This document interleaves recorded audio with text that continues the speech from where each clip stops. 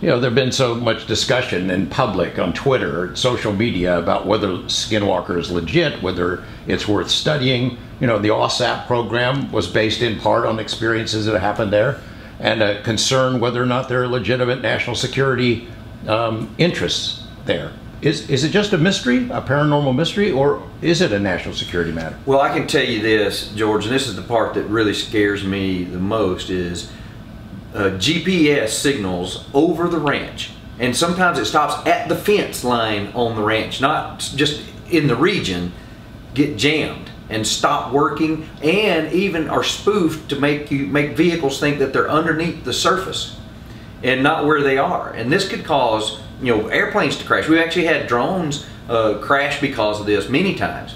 And these aren't just little cheap drones. I'm talking fifty thousand dollar drones. And that is a, a, dangerous thing. If someone has a technology that can do that, they could uh, pick a region and make GPS quit functioning.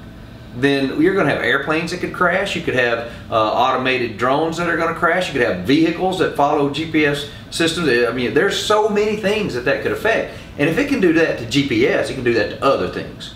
So this is a, a capability that's happening, a, some kind of phenomena that's happening that could potentially be a threat. Multiple phenomena and seemingly intelligent, right? It's an intelligence of some sort. Well, if it, it's it's if it's not intelligent, it, it's very uh, serendipitously random because it'll change in a way that is going to befuddle what your plans are. Whether uh, a perfect example is uh, uh, we'll do experiments and right when we start to everything's working fine uh, perfectly with the equipment and right when we're ready to say okay we're going to take data now a battery will die or uh, a, a, piece of equipment will, will, will, malfunction or the, the memory cards will, will quit working. Another perfect example is there was one particular time when I was on the ranch and we got cameras everywhere and every time that I stepped in front of one of these cameras uh, for 40 something seconds, the cameras went black. So there's 40 something seconds where I'm doing things that there's no record of because the camera the camera's still recorded, but they were they blacked out and the audio quit. The same kind of thing happened to NIDS, the Bigelow organization privately that was there. It happened during AAWSAP, but they didn't have the kind of cameras that you guys have. What one great contribution of the TV show is you're able to demonstrate those small little things that happen all the time. Compasses go crazy, batteries die, all that nobody time. has ever been able to prove. All the time. I mean, uh, we, we have uh, multiple, all of us carry compasses. We have compasses on our phones, and we'll, we'll pull them out when things start happening, and they'll be spinning or they'll turn completely the wrong direction. And, and at the same time, the cows will be going crazy. Uh, you know, and, and who can, I can't explain all that. Can you explain the is there the physics of the hitchhiker effect? I know people find that just too far out. You've experienced it yourself. Yeah, and uh, you know, we we are always nervous about talking about the hitchhiker effect because we might stimulate it. we yeah. don't know what causes it, but uh, could there be a physics uh, explanation? Well, if it's uh, maybe functioning through quantum physics, there's a possibility of quantum entanglement that uh, somehow whatever describes our uh, consciousness, which is most likely a quantum phenomena, gets entangled uh, with whatever the phenomena is. And so wherever you go, you're still connected to it. And uh, that sounds that sounds hokey, but we're it's called the quantum measurement problem. A lot of scientists are, are, are studying it in great detail, and there's been some Nobel Prize nominations for the for the topic. And uh, so I think that could be an explanation, or at least uh, somewhere in the ballpark. You've had things happen on the ranch that are creepy. I mean, inexplicable, call it paranormal, but it's happened. It's real, right? Yes, very real. And in fact, uh, one, it's uh, almost uh, like what you would call stigmata that happened to me. Uh, uh, we had a rabbi out do a, a, a ritual to, that was supposed to summon an opening to heaven, uh, which or like a portal is what you would describe it as down at Homestead 2. And when we did the, the ritual, a, uh, a thermal uh, vortex appeared in the middle of Homestead 2. We got that on FLIR data, and, and it's, it's, it was repeatable. We played an audio recording of the chant back, and it happened again. Well, when the rabbi was there that night, he told me uh, off camera, he came to me and said, Travis, they said they're going to come to you tonight. And I'm like, what, what are you talking about? And uh, he said, well, they said they're gonna they're gonna come see you. I said, who's they? And, he, and the rabbi said, well, whoever it is that's here.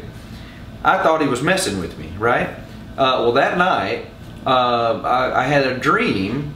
Uh, I was in my trailer, that uh, my trailer doors are locked and everything, and I, I, had a sort of a waking dream that the uh, my the trailer door uh, opened and my bedroom door slid open, and a native walked into my bedroom, an old, a really old native, and he looked at me and he shook his head and he reached out and he touched me on the face right there. Well, and then he then he shook his head and he walked away, and I woke up startled. And I went to the bathroom, you know, splashed water on my face, kind of get my bearings. And when I looked in the mirror, I was bleeding from that spot. And I had a, a, a sore appear there and stayed there for several days. And, and that that was bizarre to me. I, I can't explain it. You know, you could probably explain away a bug bit me or something. I swatted myself, but it, it, did, it didn't look like that. It looked like just like somebody really pressed me really hard right there. You've taken it home with you, haven't you? Oh, uh, I, I, have seen some things, and some things that my car has started and stopped itself. Uh, sometimes it'll the electronics will act weird for no reason, and then they'll be fine. I've actually had that happen once driving uh, out of my driveway. My car just turned itself off, and I just happened to get out because I was wondering, just you know, curiosity, and I thought, well, if I'm at the ranch, I'm gonna get out and start looking around. So I got out of the car and I looked up, and there was a, a an odd vortex in the clouds above above my house uh, when this happened. I can't explain that. I'm just saying those are correlated events. Uh, I, I, don't have any other data to go along with that, but that's a weird piece of data. But when I got back in the car, cranked right up. I guess the correlation would be what other people have reported. I mean, a lot of people who've been at the ranch have taken things home, pretty frightening things that you know, and it lasts for a long time. Yeah, uh, I I've talked with a lot of people who were there uh, during the, the Bigelow era, and then people that have been out there now, and uh, many people uh, have strange things happen at home that can't be explained. They see things, things happen, uh, uh, things fail. They have uh, actual things move in their house that they don't remember moving them, and and so mine hasn't gotten that bad, but I do have weird spooky things happen occasionally. Is there overlap of when you're working on the TV show and then you learn there was this AAWSAP program that did a big study and produced a lot of reports? And are you able to go look at that stuff? Are you able, hey, I'm going to go seek out the guys who did this study so I can find out? If you got class, you've got security clearances, maybe you could see it. Yeah, and uh, uh, of course I couldn't talk about the details of any of that, right. but of, but of course, I mean, uh, anybody with any sense, right? If they have access to read information, this weird stuff's happened to them, they're going to go read the information. So I can tell you that I've asked the people who know uh, uh, and and have been briefed as much as people know about. Uh, I, I, think some of the information though. Mr. Bigelow kept to himself, yeah. and and so we haven't been privy to that particular information. You know, the NIDS guys go in uh, Bigelow and his organization, and they're drawn by flying saucers, UFOs. They go in there, they're going to study that, but they find all this other stuff. And they really don't have a battle plan for how to go after it. I mean, they did some basic stuff. They looked for geomagnetic anomalies, they looked for psychoactive plants, maybe that was causing hallucinations. And when they started ruling those things out, then they tried to interact with it. Is there a battle plan that works for this? I mean, you, we've talked before about this. You in essence, poke the bear. Hey, let's try this, see what happens. I don't know what else to do other than uh, try a stimulus and look for a response uh, because it's so strange. It's not your typical mix this chemical and that chemical and you get this reaction. In, in, in, this case, you can mix this chemical and that chemical, and depending on the day and, and, and, and some whimsy, you get a completely different reaction.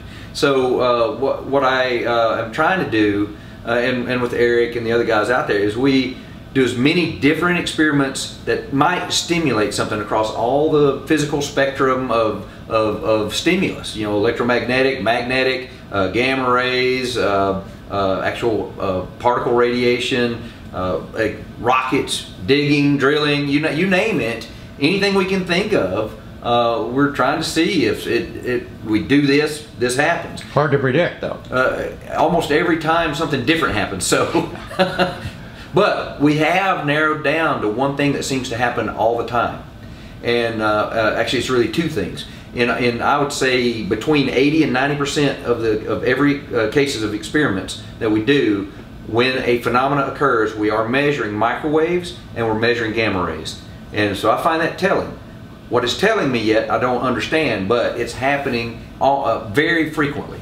The radiation exposure. So you get exposed to radiation, you had serious effects, health effects. Yeah, I uh, uh, they didn't show the details of it on the show because you know it's a little bit eerie, a little bit spooky, personal but, too. Yeah, yeah, but it actually caused me some medical issues. Uh, I, had I saw two or three different doctors about it. Uh, I'm, I'm, fine now. Um, while I am going to be watching for future markers of like leukemia or cancer things, but I, I don't think the dose was big enough for that. But I had uh, the classic symptoms of radiation sickness, um, dark urine, uh, burn marks. Uh, and, and I had some uh, temporary hair, hair loss. Um, and, and that uh, it took me six months, almost to a year, to get completely over it.